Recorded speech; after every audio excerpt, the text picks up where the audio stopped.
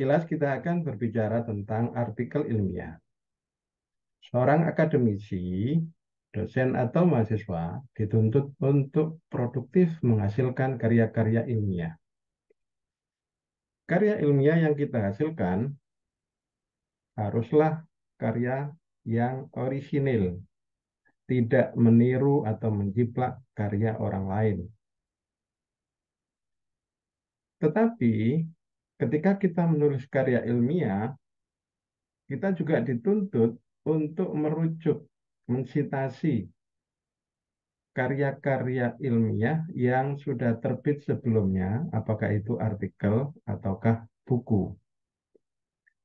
Bagi penulis pemula, hal ini dianggap merupakan hal yang kontradiktif. Satu sisi, ketika menulis kita dituntut untuk menuangkan gagasan orisinil kita, tetapi di satu sisi harus mengambil gagasan yang telah terbit dalam bentuk artikel atau buku. Sebetulnya hal ini bukanlah hal yang kontradiktif. Begini penjelasannya.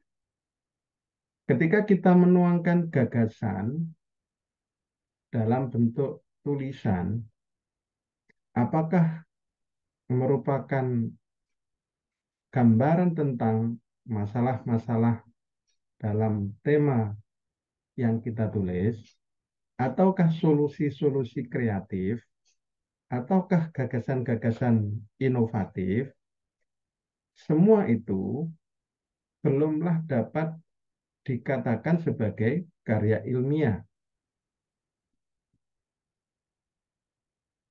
Kita bisa menghadirkan gagasan-gagasan tersebut sebagai karya ilmiah jika kita telah melakukan riset atau melakukan penelitian.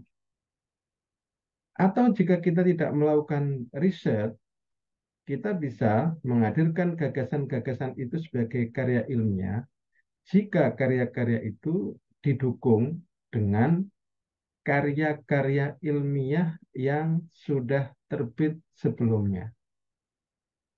Jadi ketika kita menulis karya ilmiah yang bukan hasil penelitian, maka gagasan-gagasan yang kita tuangkan itu tidak akan dianggap sebagai gagasan ilmiah sampai kemudian kita hadirkan artikel atau buku yang membenarkan gagasan-gagasan tersebut.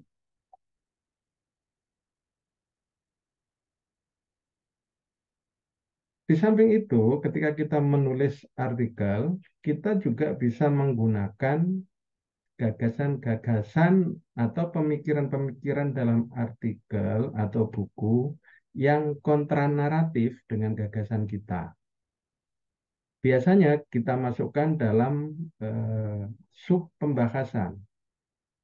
Jadi dalam pembahasan kita hadirkan gagasan atau pemikiran kita yang didukung oleh sejumlah hasil penelitian. Kita juga bisa menghadirkan gagasan atau pemikiran yang berbeda yang juga didukung oleh sejumlah hasil penelitian maka kita kemudian bisa menghadirkan karya tulis ilmiah yang menarik, yang berwarna, sehingga kemudian pembaca mendapatkan berbagai perspektif dari artikel yang kita hasilkan. Selamat mencoba, semoga kita bisa menghasilkan karya-karya ilmiah yang berkualitas dan memberi inspirasi serta memberi solusi bagi permasalahan di sekitar kita. Assalamualaikum warahmatullahi wabarakatuh.